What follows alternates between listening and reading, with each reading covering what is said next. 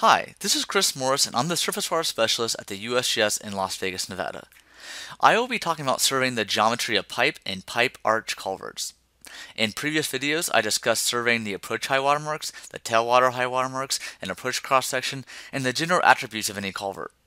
The information presented in this single component video can also be found in TWRI 3-A3, Measurement of Peak Discharge at Culverts by Indirect Methods. As mentioned in previous videos, go clear notes are needed. With complex culverts or when combined with other methods, say a road overflow, it is easy to forget to measure the beveling or note if you measure the top or bottom of the culverts.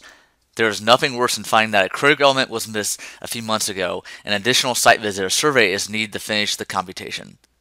Even for someone who has surveyed many culverts, I find having a checklist is useful to get everything you need. I typically wait and do the following steps after I completely finish with the survey. Although all these could be done during the survey, I find you're less likely to mismeasure or not know an important element if you aren't doing two things at one time. Additionally, some of these are easier to measure of two people. First, let's determine the area. For circular pipe, the diameter should be measured. Remember geometry class, we can compute area from the diameter. I will typically measure at least a couple diameters, both vertically and horizontally, using a measuring tape.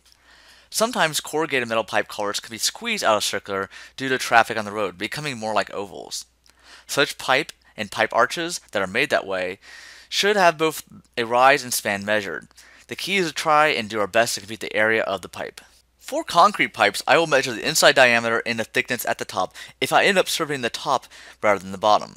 For corrugated pipes, the inside diameter should be measured. This is the distance from this inside portion of the corrugation on one side to the other side, i.e. the minimum inside diameter.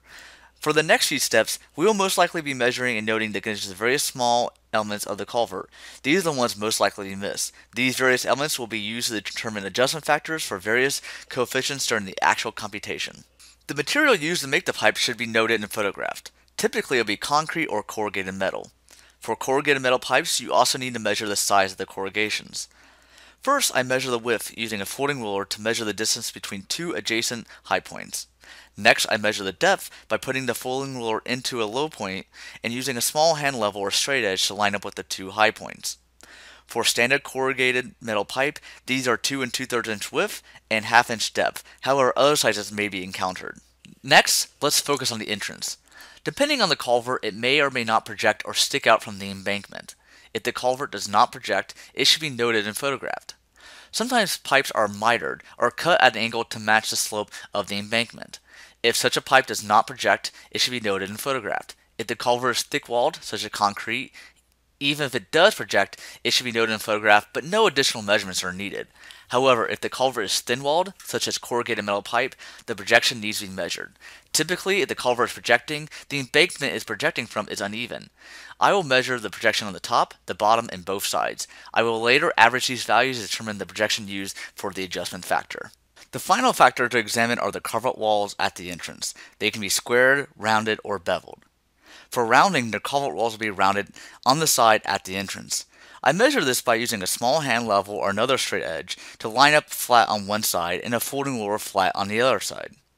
In between, there will be a gap from the 90 degree corner created by the two tools and the rounded corner of the culvert. I then measure the distance on the folding ruler from the hand level to where the culvert wall is again parallel with the folding ruler. This is where the gap ends. Repeat this step by switching the positions of the straight edge and the folding ruler. The average of the two values is the radius of the entrance rounding. With a culvert entrance that is beveled, the culvert wall entrance has corners not at 9 degree angles. To measure the bevel, you need to measure the angle as well as the thickness of the wall. I measure the angle by using a protractor facing away from the bevel. I then line up the folding ruler with the bevel and read the angle between the ruler and the wall. This should be done at all bevels since they won't necessarily be the same on all sides. Sometimes only the top of the culvert is rounded or beveled. If the flow being computed did not reach this height, it is not necessary to measure, although it could be used for future computations. If you need help in the field, call your supervisor, surface water specialist, or indirect measurement specialist.